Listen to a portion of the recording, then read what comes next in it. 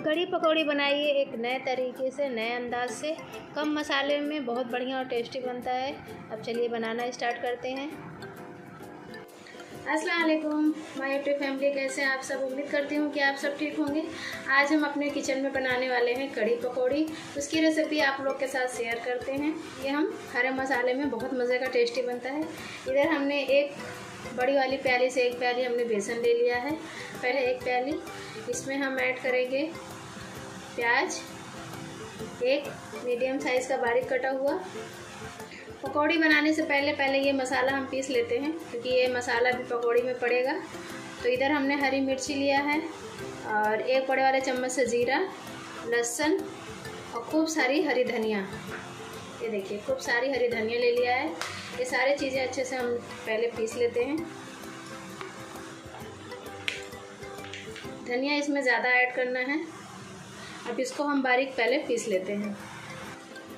मसाला हमने ये देखिए, पीस लिया है, जो हमने मसाला लिया था। और ये बेसन हमारा, इसमें एक मीडियम साइज़ का प्याज बारीक कट करके डाला है हमने। और इसमें से किसी मसाले में से हम दो चम्मच मसाला इसमें ऐड कर देंगे। ज़्यादा नहीं, दो चम्मच इसमें ऐड कर दिया है। आधा चम्मच हल्दी पाउडर। एक चौथाई चम्मच नमक लेंगे, इसको ऐड कर देना, क्योंकि और मसाले में भी हमको नमक डालना है, इसलिए इस पर थोड़ा सा ही डालेंगे। पकौड़ी बनाने के लिए अब इसको हम थोड़ा थोड़ा पानी ऐड करके इसको घोल बना लेते हैं।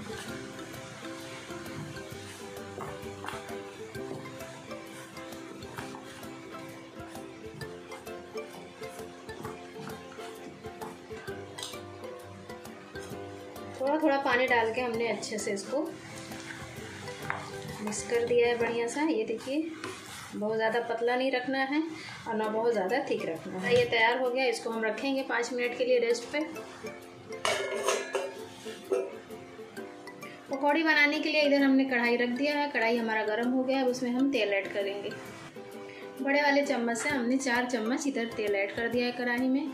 अब तेल हमारा अच्छे से गर्म हो जाएगा, फिर हम पकौड़ी बनाना स्टार्ट करेंगे।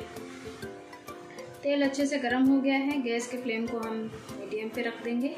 और ये देखिए, हमने ये बेसन ले लिया है अपना पकौड़ी वाला। छोटी छोटी पकौड़ियाँ तेल में डालते जाएँगे।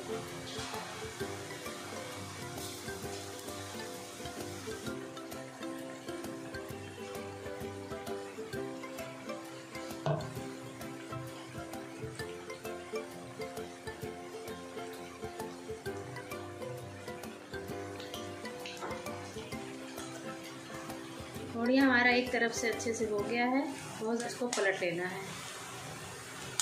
एक तरफ़ से हो गया है तो इसको हम पलट के दूसरी साइड से भी पका देते हैं।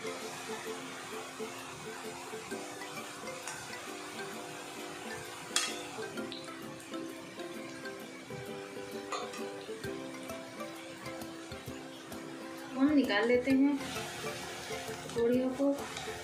पकौड़ियों को निकाल लेते हैं, ये देखिए। बहुत ज़्यादा हमको इसको लाल नहीं करना है।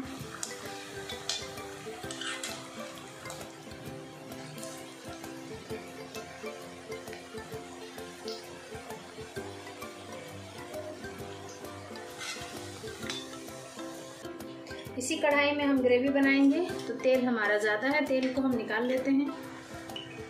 से कम मेथी दाना लेंगे, इसको ऐड कर देंगे बघार में।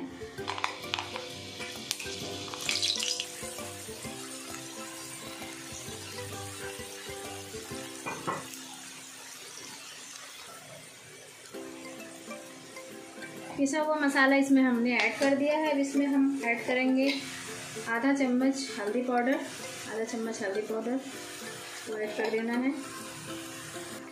आधा चम्मच नमक ऐड करेंगे। नमक अपने हिसाब से रखिएगा।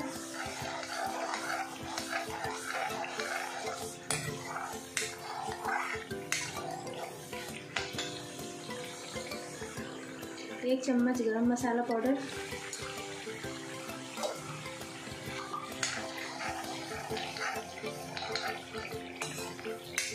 दो मिनट अच्छे से इसको मसाले को भून लेते हैं। दो मिनट हमने मसाले को अच्छे से भून लिया है। अब इसमें हम दो चम्मच, बड़े वाले चम्मच से बेसन ऐड करेंगे और इसको भी अच्छे से भून लेंगे। कवर करके दो मिनट भून लेते हैं और मसाले को अच्छे से भून लिया है। अब इसमें हम ऐड करेंगे पानी, ग्रेवी लगाएँगे।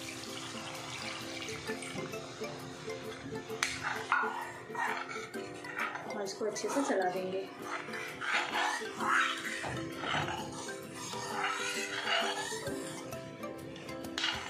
इसमें जितना आपको जैसा ग्रेवी चाहिए, आप उसमें रख सकते हैं। आप ग्रेवी को छोड़ देंगे उबाल आने के लिए। गैस के फ्लेम को हमने थोड़ा सा फास्ट किया है। और इसको थोड़ा सा पकने देंगे कड़ी को। कम से कम दो से तीन मिनट पकने देते हैं। कड़ी को पकते हुए दो से तीन मिनट हो गया है। अब सारी जो पकौड़ियाँ थी, इसमें हम धीरे धीरे करके ऐड कर देंगे।